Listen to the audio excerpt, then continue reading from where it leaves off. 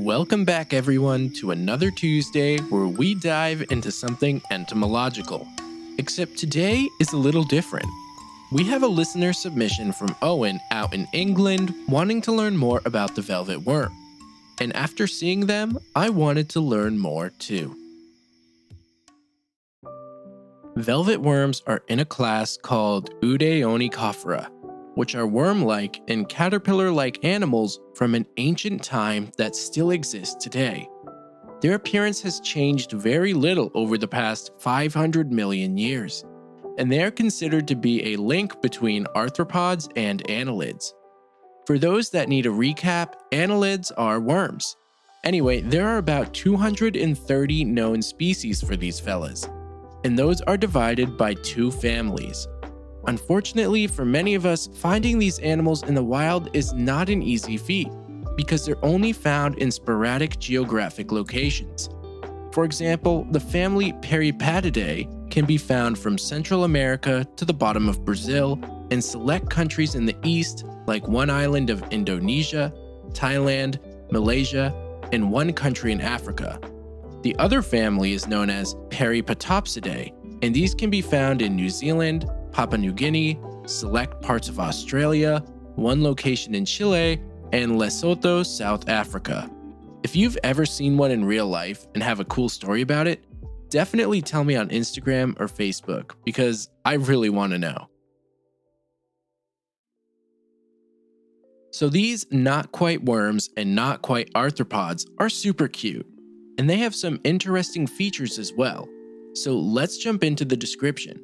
But pictures, of course, will be available on the Instagram and Facebook page. Links to those are in the show notes and episode description. Velvet worms have a segmented body, but it's long and cylindrical with stubby appendages called oncopods, or lobopods, which they use to help traverse their environment. Think of these worms as like a cross between a soft caterpillar and a centipede, but with max cuteness. The average length for these is around 5 centimeters or 2 inches, but they can be as long as 20 centimeters or 8 inches and as short as 0.5 centimeters or 0.2 inches. And they come in a variety of crazy colors, like blue, red, orange, gold, blue, and orange. I mean, seriously, what more could you want? The heads have two antennae and two simple eyes, unless it's a blind species and a circular mouth that sits belly side of the head. And as a result, you would never know they had this unless they lift their head. Now, the amount of feet these worms have is dependent on the species, but a really unique feature for all of them would be the hard chitin claws they hide within these soft, stubby feet. This is actually where the name Onychophora comes from, because the ancient Greek means claws. Don't worry though, these claws have one purpose only, and that's to help them stand their ground while crawling around.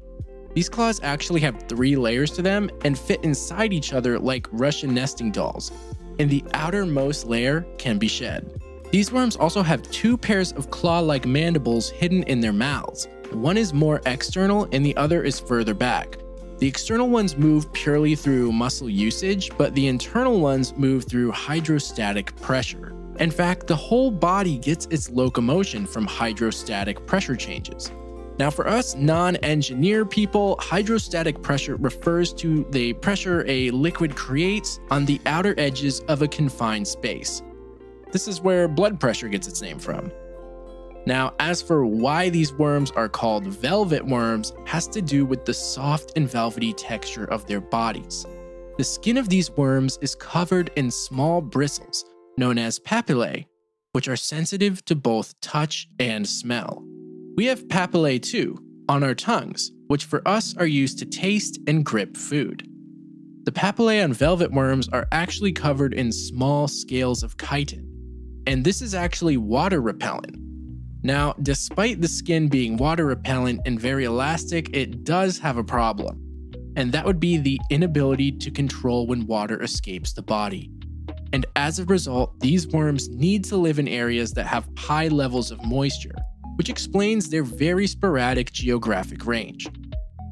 Now, I want to backtrack a bit about the claw like mandible because, as it turns out, these cute worms are not very cuddly.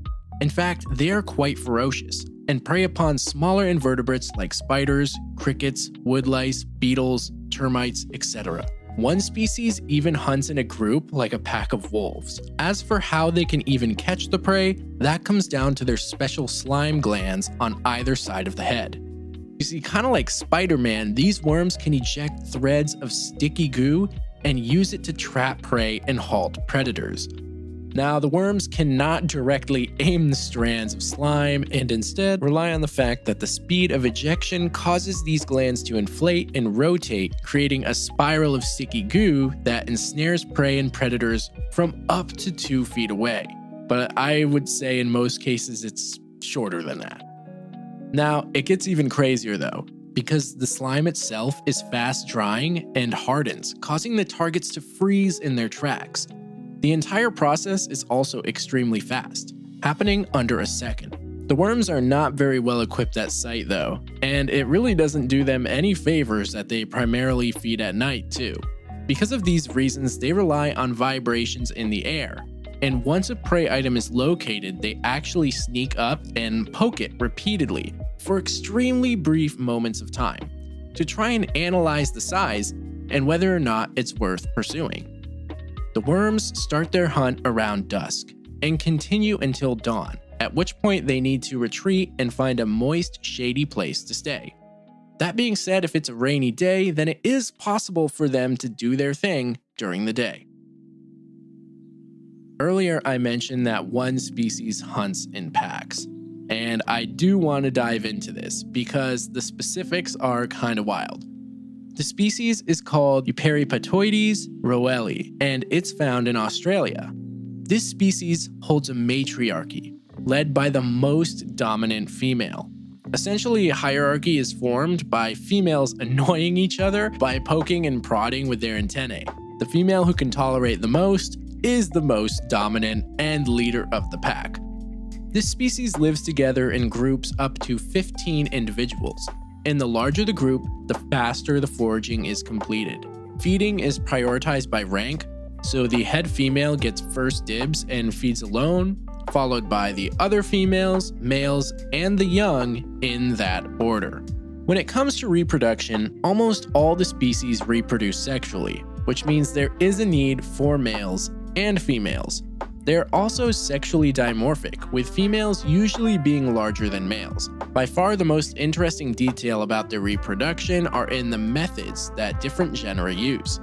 For example, in the genus Peripatus, males will actually leave a package of sperm, known as a spermatophore, on the back or sides of a female. And then amoebocytes from the female's blood actually collect at that location and break down the skin wall and sperm package allowing its contents to be absorbed into the body. That's insane. Another wacky method would be the use of head structures to deposit said spermatophores. And this is seen with Australian species. Traditional copulation doesn't seem to be a commonality for these worms. But then again, velvet worms are far from normal. When it comes to giving birth, the females have three different strategies. The first is your standard egg laying, which actually only occurs in the family Peripatopsidae, and this also happens to be the more primitive family. The second and most widely used strategy is known as ovoviviparous, and this refers to the process of incubating eggs within the body until they are ready to hatch. And last but not least, some velvet worms do indeed give live birth. This occurs in both families but seems to be more restricted to areas that provide a stable climate and food source year round. The amount of offspring a velvet worm can produce in their lifetime caps at around 23, and they only mate once. In fact, because they only mate once for the entirety of their lives, they have special organs dedicated to storing sperm and some females can mate before sexual maturity and just store the sperm until they're ready to reproduce. Now, before we end today's episode, there is some hope to those of us who would like to see one in the flesh. Because as it turns out, these worms can be purchased as pets online or even in certain pet stores. If you want to try your hands at keeping one of these, I'd certainly recommend it. They are very, very cute and easy to care for. The lifespan for these can last up to six years as well. And based on the size of the food and the size of the worm, they may only need to eat once per week or even once per every four weeks. But it's recommended to feed them something small at least once per week, like a cricket, for example. I hope you enjoyed today's episode. And if you've been enjoying the show, as always, it really helps if you decide to rate it on whatever platform you listen. Now, if you'd like to check out the images, of course, you can find the Instagram and Facebook pages within the show notes and the show description. And if you yourself would like to send me a listener submission, you can do so through Instagram or email at insectsfordummies at gmail.com. Thanks again for listening, and you'll hear from me again next week.